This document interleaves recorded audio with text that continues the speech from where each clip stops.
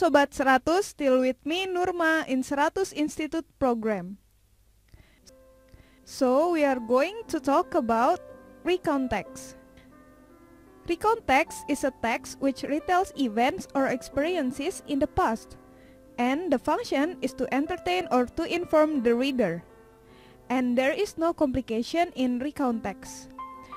Jadi, recount text adalah teks yang menceritakan kembali suatu pengalaman di masa lalu. Dan fungsi dari recount text adalah untuk memberikan informasi ataupun menghibur pembaca.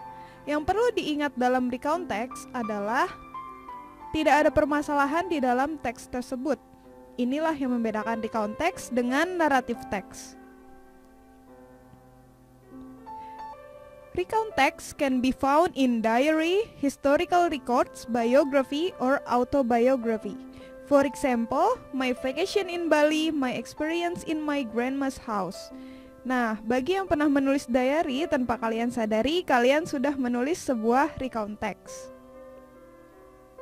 And next, the generic structure of recount text.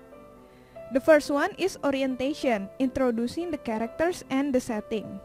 In here, kalian dapat menjelaskan karakter, nama tempat, dan waktu di dalam cerita.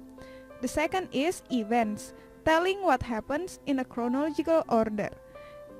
Dan yang kedua, di paragraf ini kalian menceritakan kembali pengalaman kalian sesuai dengan urutan kejadian. And the third one is reorientation. This is the ending of the story. Di bagian penutup, kalian dapat menuliskan tentang perasaan kalian pada waktu itu untuk dijadikan penutup. Oke, okay, next, language features. Language feature adalah ciri-ciri kebahasaan dari teks tersebut. Dan ciri-ciri di dalam recount text ada past tense, personal participant like I, my mother, my group, my grandpa, and etc. And then adverb or adverbial phrase like on Saturday, on Monday, and then we use action verb. And the last one is adjective karena recount text menceritakan pengalaman di masa lalu, jadi tenses yang digunakan adalah past tense. And then, this is the example of recount text. A beautiful day at Jogja. As we can see in the first paragraph, this is the orientation.